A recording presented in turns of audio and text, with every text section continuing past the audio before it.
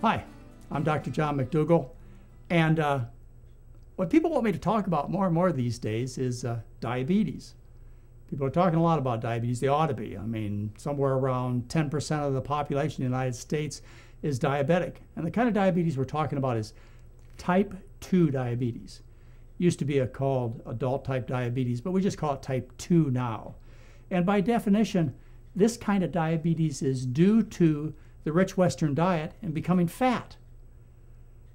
So, you would think if that's what type 2 diabetes is, it's a consequence of eating the rich Western diet and becoming fat, that you ought to be able to cure it by correcting the problem. And you can, by definition.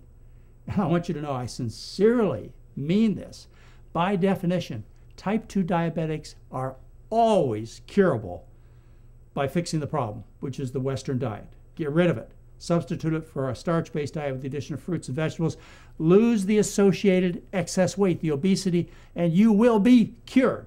That's what the truth is, and that's what the science says. And my more than 35 years of experience as a medical doctor shows that to be true. Why not? Think about it. The definition type 2 diabetes, a dietary disease by definition. Why couldn't you fix it? You can. You lose the weight, you eat a healthy diet, and it goes away, and you get off the pills. And that's, of course, what you want.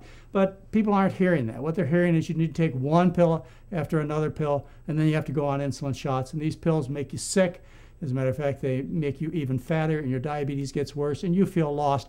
And the problem is continuing. They expect within the next 30 years that 30% of the population in Western countries will suffer from type 2 diabetes.